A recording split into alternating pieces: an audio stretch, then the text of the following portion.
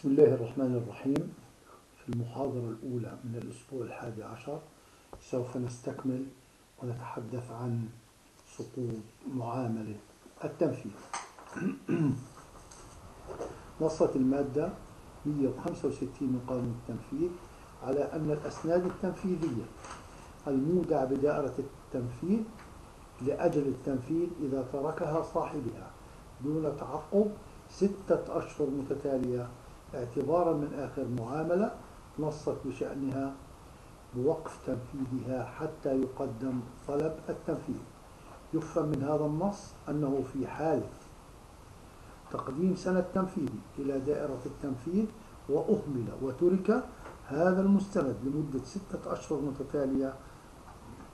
تعتبر هذه المدة مدة سقوط مؤقت بحيث يتم حذفه من جدول أعمال الدائرة.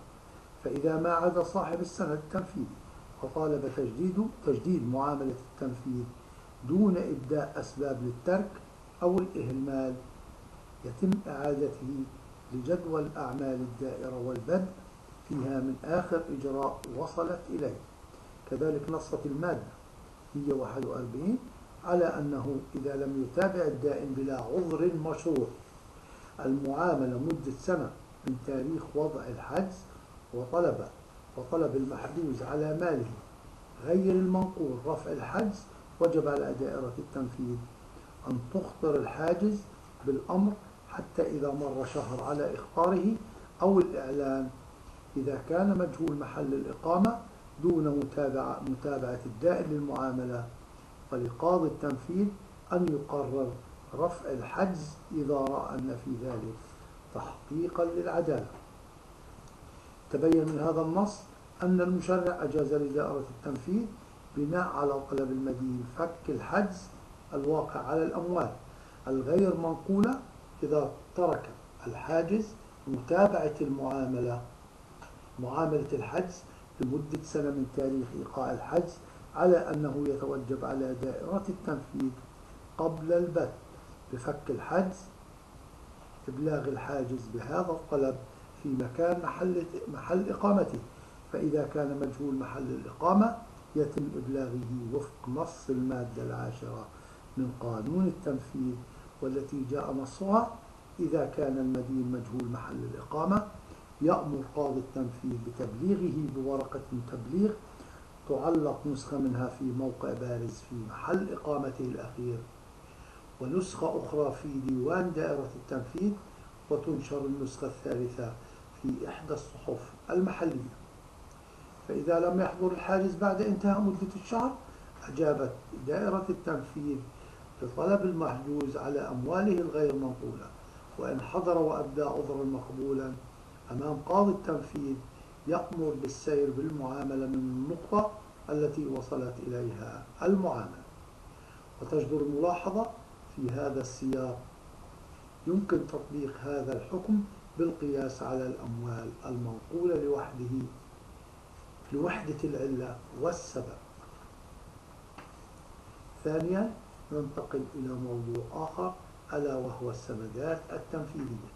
طبعا طبعا بما أن قاضي التنفيذ يختص بسلطة التنفيذ الجبري سواء بطريقة التنفيذ المباشر أو التنفيذ بطريق الحجز ونزع الملكية فإن هذا التنفيذ مشروط بوجود مسوغ شرعي ونظامي وهو يسمى بالسند التنفيذي الذي يجعل من قاضي التنفيذ مختصا.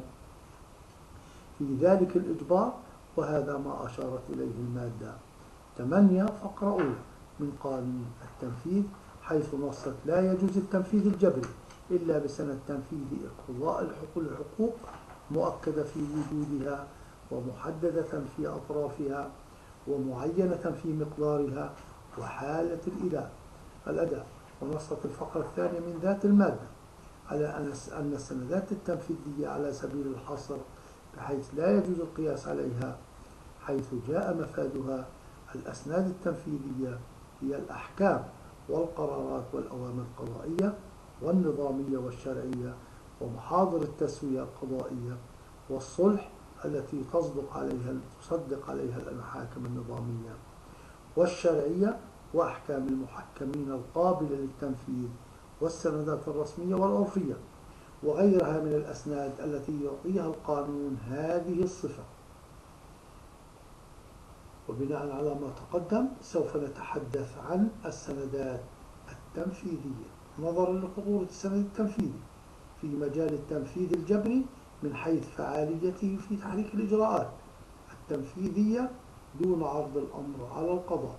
وقد نص المشرع على السندات التنفيذية على سبيل الحصر دون أن يترك أن يترك تحديد هذه السندات لمطلق تقدير القضاء أو القائم بالتنفيذ وخاصة في المواد 8 فقرة 2 مادة 38 والمادة 39 و 36 و 27 من قانون التنفيذ.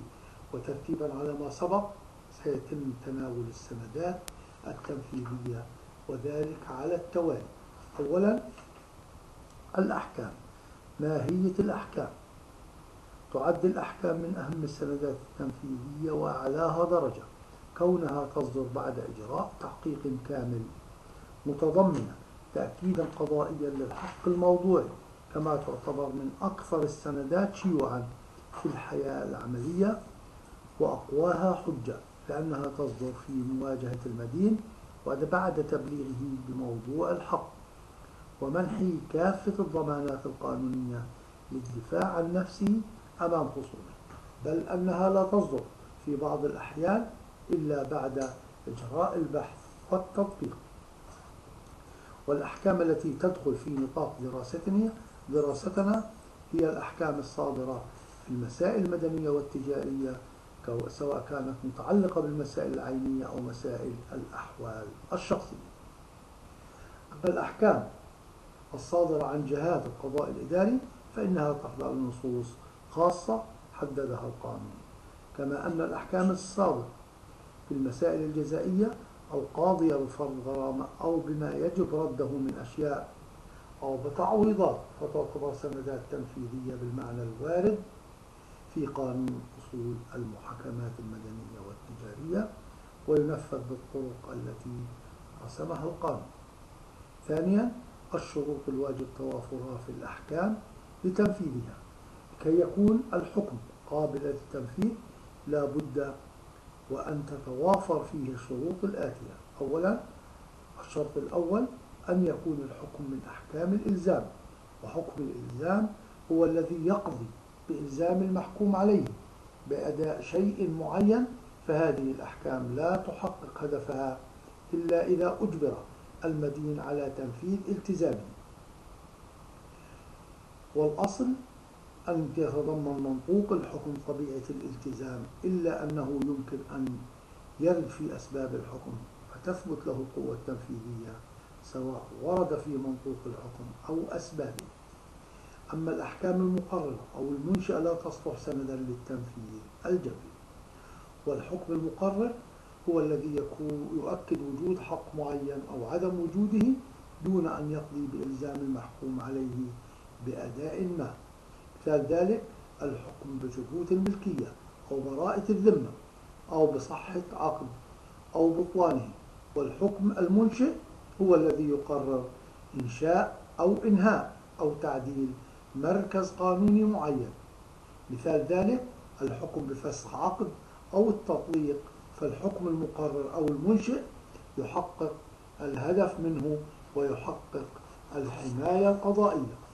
الشرط الثاني أن يكون الحكم نهائيا ومشمولا بالنفاذ معنى أن يكون الحكم قد استنفذ كافة طرق الطعن المقررة قانونا أو أن يكون حكما ابتدائيا ولكن مشمولا بالنفاذ المعجل سواء بحكم قضائي أو بقوة القانون.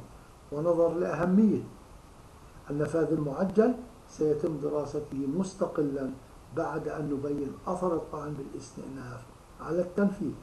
أولا أثر الاستئناف الطعن بالاستئناف على التنفيذ. يقع الاستئناف على المحاكم الابتدائية وهذا ما قررته المادة التاسعة فقرة أولى بحيث أنه لا يجوز تنفيذ الحكم الصادر من محكمة أول درجة ما دام الحكم فيها قابلا للاستئناف. فالحكم النهائي هو الذي يمكن تنفيذه إلا إذا كان من الأحكام المشمولة بالنفاذ. ثانيا أثر الطعن الطعن غير العالي على التنفيذ. بين قانون أصول المحاكمات المدنية والتجارية الآثار المترتبة على الطعون سواء تعلق الأمر بالطعن بالنقد على التنفيذ في المواد 240 و 247 و 255 من قانون أصول المحاكمات المدنية والتجارية حيث أشارت المواد الثلاث باحتفاظ الحكم بصيغته كسنة تنفيذي يجوز التنفيذ بموجبه ولا يكون لتلك الطعون أي أثر على التنفيذ بل يكون للمحكمة المقدم إليها الطعن أن توقف التنفيذ بناء على طلب يتم تقديمه سواء بكفالة أو بدونها إذا توافرت شروط معينة وذلك على النحو الآتي. أن يطلب المنفذ ضده في لائحة الدعوة المرتبطة بالطعن أو في طلب مستقل يرفق بلائحة الطعن اثنين الخشية من وقوع ضرر جسيم يتعذر تداركه إذا استمر التنفيذ. إذا توافر هذا الشرطان فللمحكمة سلطة تقديرية. في هذا الشأن فإذا وافقت على وقف التنفيذ فلها أن تربط هذه الموافقة بتقديم كفالة أو بدونها. والآن سوف نتحدث عن النفاذ المعجل. أحيانا قد يكون الحكم مشمولا بالنفاذ المعجل بقوة القانون حالة ما إذا ورد نص في القانون يقرر شمول الحكم الصادر. في مسألة معينة مثلا نجد المادة 20 من قانون التنفيذ قد نصت على أنه التنفيذ المعجل واجب بقوة القانون للأحكام الصادرة في الأمور المستعجلة. أي كانت المحكمة التي أصدرتها ما لم ينص. ما لم ينص في ما لم ينص في الحكم على تقديم كفالة. ويستفاد من هذا النص أن التنفيذ المعجل يقترن بالأحكام المستعجلة بقوة القانون بدون كفالة وهو الأصل غير أن القانون أعطى القاضي. إذا خشي أضرارا يصيب المحكوم عليه نتيجة النفاذ المعجل إلزام المحكوم له بتقديم كفالة قبل إجراء التنفيذ. هذا ولم تتضمن نص المادة 20 أمثلة لم يعد أمرا مستعجلا لذلك يمكن اعتبار الأمثلة الآتية من الأمثلة على الأمور المستعجلة. واحد ما أشارت إليه المادة 102 من أصول المحاكمات حيث جاء نصها لا يجوز لمن يخشى حدوث ضرر محتمل في من فوات الوقت أن يقدم طلبا إلى قاضي الأمور قاضي الموضوع من نظر في, في نظر هذا الطلب تبعا للدعوة الأصلية. ثانيا ما أشارت إليه المادة 11 أصول محاكمات يجوز لقاضي الأمور المستعجلة عند إصداره قرار بمنع المستدعى ضده من السفر بناء على أسباب جدية تدعو إلى الاعتقاد. بأنه على وشك مغادرة فلسطين أن يكلف المستدعي بتقديم كفالة مالية لضمان ما قد يصيب المستدعى ضده من عطل أو ضرر إذا تبين أنه غير محق في دعواه وكذلك ما أشارت إليه المادة. 112 أصول حيث جاز حيث جاء نصها يجوز لمن قطعت عنه المياه أو تيار الكهرباء أو غير ذلك من المرافق. الخدمية الخدمات هي ضرورية أن يطلب من قاضي الأمور المستعجلة إعادتها وفقا لأحكام هذا الفصل. وكذلك المادة 113 حي من أصول المحاكمات حيث نصت يجوز لمن يخشى ضياع معالم واضحة أو إحداث تغييرات من شأنها أن تمس مركزه القانوني سواء قبل إقامة الدعوة أو أثناء نظرها. أن يطلب من قاضي الأمور المستعجلة إثبات الحالة بمعرفة مندوب المحكمة ومنع المستدعى ضده من إجراء التغييرات لحين البت, البت في الدعوة. خامسا الأحكام القضائية بتسليم الصغير وفق ما أشارت إليه المادة 21 من قانون التنفيذ حيث جاء نصها التنفيذ المعجل بغير كفالة واجب بقوة القانون للأحكام الصادرة بتسليم صغير أو رؤية أو بأجرة الحضانة أو الرضاعة أو المسكن للزوجة للزوجة أو النفقة المطلقة أو للأبناء أو للوالدين. ستة الأحكام المتعلقة بالمواد التجارية. وفق نص المادة 22 من قانون التنفيذ حيث جاء مفادها التنفيذ المعجل واجب بقوة القانون للأحكام الصادرة في المواد التجارية بشرط تقديم كفالة.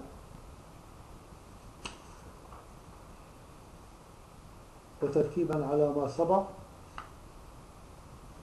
نستطيع أن نقول لا يكون الحكم نافذا في المواد التجارية إلا إذا ألزم المحكوم له بتقديم كفالة مالية حماية للمحكوم عليه والكفالة عادة تخضع لسلطة القاضي التقديرية وفقا لطبيعة الموضوع المطروح بين يديه حتى ولو لم يطلبها المحكوم عليه. ثانيا النفاذ المعجل القضائي يقصد به النفاذ الذي يستمد من أمر القاضي ولا يقضي به من تلقاء نفسه وإنما بناء على طلب صاحب المصلحة في أي حالة تكون عليها الدعوة بشرط أن يقدم الطلب قبل إقفال باب المرافعة.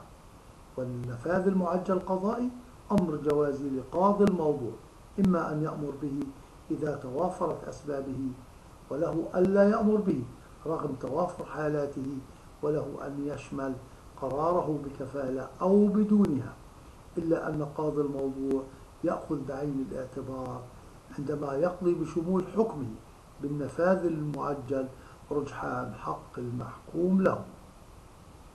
ثانيا الخشية من أن يلحق ضررا جسيما لمصلحة المحكوم له نتيجة التأخر وكذلك يخضع للسلطة التقديرية للقاضي وهذا ما أشارت إليه أيضا مادة 23 من قانون التنفيذ حيث جاء مفادها.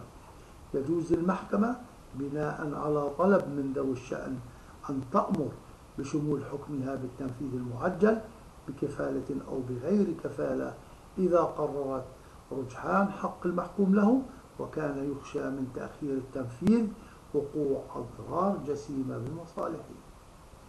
أما عن نظام الكفالة وضع نظام الكفالة وضع نظام الكفالة ليكون ضمانا لإعادة الحال إلى ما كان عليه